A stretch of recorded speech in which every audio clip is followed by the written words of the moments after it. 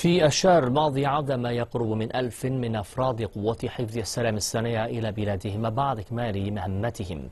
وعلى الرغم من الأخطار المحتملة إلا أن الأبطال يفخرون بالتفاني والمسؤولية إزاء المهمة التي أنيطت بهم. والآن نلقي النظر على دور الصين في عملية حفظ السلام في إفريقيا. بدأت الصين المشاركة في عمليات حفظ السلام الأممية عام 1990 ومنذ ذلك الحين خدم نحو 30 ألفا من القوات الصينية في 24 مهمة أممية لحفظ السلام. ودخل أفراد قوات حفظ السلام الصينية أيضا إلى مالي وليبيريا وجمهورية الكونغو الديمقراطية وجنوب السودان وغيرها من الدول الأفريقية.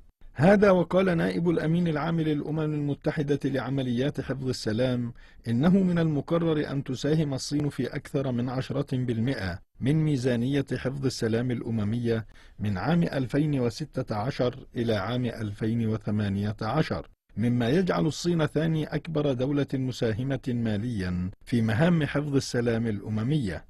وفي الوقت نفسه أشادت الأمم المتحدة بوحدات حفظ السلام الصينية عدة مرات وتم منح عناصرها ميداليات أممية لحفظ السلام في الأعوام 2005 و2012 و2015 أفراد الأسرة مسرورون برؤية أبطالهم العائدين.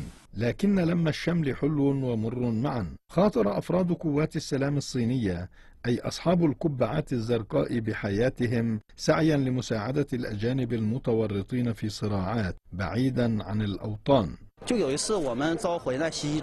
رفاقي وأنا نعرف أنه مهما كان الوضع خطير مهمتنا في المقام الأول. نحن بحاجة إلى فعل أي شيء في مقدورنا من أجل حماية المناطق التي نتحمل المسؤولية عنها. على مدى السنوات قدمت قوات حفظ السلام الصينية مساعدات بشكل رئيسي على مهام الهندسة والنقل والإغاثة الطبية والدوريات الأمنية بحيث عالجت الوحدة الطبية الصينية في مالي التي تعد واحدة من أقل الدول نموا في العالم نحو ثلاثة آلاف مريض مصاب بالملاريا وإيبولا وأمراض أخرى في غضون عام واحد.